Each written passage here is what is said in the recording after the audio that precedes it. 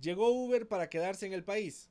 Los datos al menos así lo demuestran. Desde el 21 de agosto del 2015, cuando la aplicación se encendió por primera vez en Costa Rica, ha tenido un auge en los usuarios, al punto de contar con más de 700 mil. En tres años, Uber pasó a ser el segundo medio de transporte más usado en Costa Rica por detrás de los buses, superando por mucho a los porteadores y taxistas. Uber además tiene una calificación casi perfecta en la experiencia del usuario. 97 de cada 100 personas está satisfecho con su servicio. Por su parte, solo el 57% dice estar contento con los taxis. Ante estos datos, salimos a la calle a conocer la percepción de la gente. ¿Uber o taxis? El Uber mejor, mucho mejor. ¿Por qué Uber mejor? Mejor servicio, más exactitud, más a la llegada, todo está bien. En el caso suyo, ¿ha viajado en los dos ya? Sí, claro. ¿Cómo son las experiencias?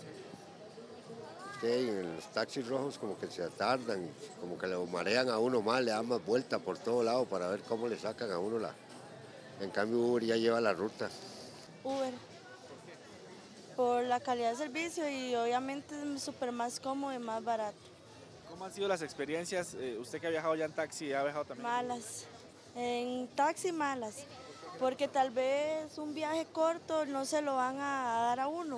O sea, le dicen que no y tal vez sea aquí, o sea, sea mil, mil quinientos, no, no lo hagan. En cambio Uber, por más que la tarifa sea baja, sí, lo van a, sí le van a dar el viaje a uno. No, en Uber. ¿Por qué? Es más económico. ¿Ha viajado también en taxi? Sí. ¿Cómo han sido las experiencias? No sé si se puede comparar lo de Uber con lo de taxi. No, es que los taxis a veces arreglan la María y cobran más caro, la verdad. No son serviciales. No son serviciales. El 56% de la población cree necesario que Uber se mantenga en el país de una forma regulada.